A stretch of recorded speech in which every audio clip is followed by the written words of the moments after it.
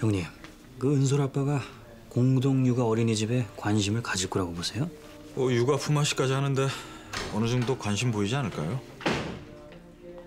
바쁜 사람 자꾸 오라가라 할 겁니까? 저 상의 드릴 게 있어서요. 상이라뇨. 우리 육아 품앗이터를 공동 육아 어린이집으로 만들까 해서요. 공동육아 어린이집이요? 예, 뭐 한마디로 뜻 맞는 부모들끼리 출자금 내서 어린이집 만들고 교사랑 함께 공동 육아하는 거죠. 정식 어린이집처럼요.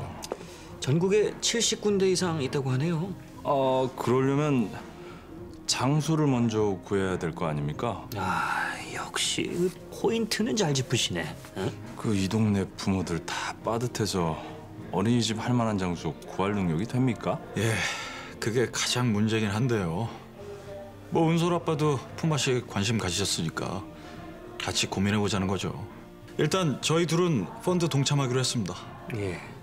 은솔 아빠, 어떻게 하시겠어요? 아 나는 그 일이 커지는 게 좀 귀찮은데 한 번 시작하면 끝을 보는 성격이라. 아, 뭐 지금 당장 결정하라는 거 아닙니다. 어, 잘 한번 생각해 보십시오. 그럽시다 그럼. 아,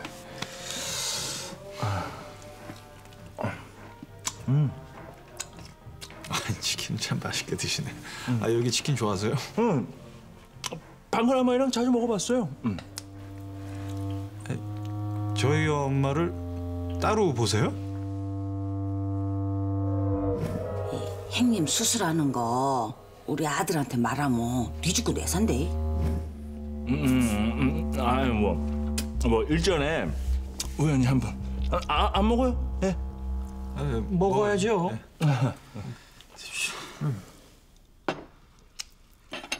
아니 회사 일도 바쁜데 이런 일까지 하는 이유가 뭡니까? 다 같이 잘 살려고요.